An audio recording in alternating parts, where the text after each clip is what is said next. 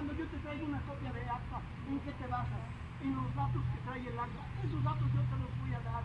Te voy a dar el número de acta, el año en el que fue registrado. Te voy a dar los datos